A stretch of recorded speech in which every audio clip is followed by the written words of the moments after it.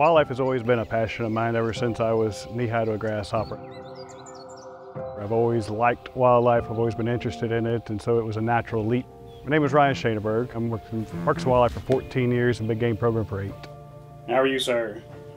I hired Ryan several years ago as our big game program specialist. His focus has been really centered on disease management. So we have chronic wasting disease in Texas. It's a neurological disease that affects all your cervid species, so your deer, elk, moose, the things of that nature. It's very similar to mad cow disease. There is no cure for the disease, so the only prevention is to keep it out of an area. The scenarios where we have to go out and collect these samples are extremely stressful, uh, extremely complex. Nobody wants to have to do it.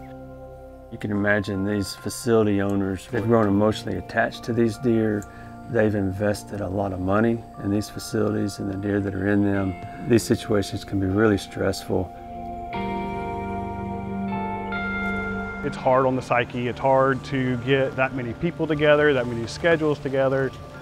One of the more challenging parts of my job is trying to bring a bunch of different entities together for, for the common goal. We want to make sure that we are being as absolute safe as possible.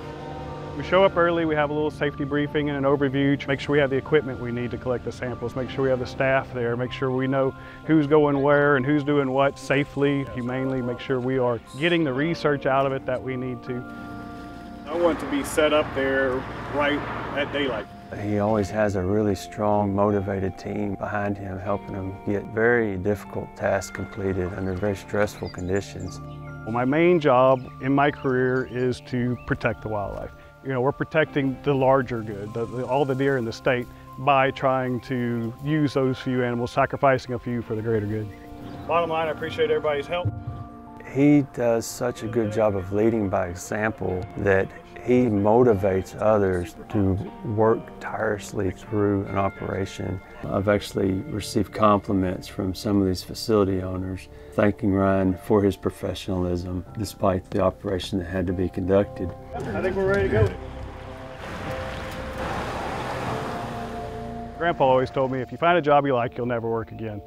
Can't say that every day has been exciting, but there's definitely that job satisfaction. There's the ability to go home at night feeling like I've made a difference, however small in my corner of the world.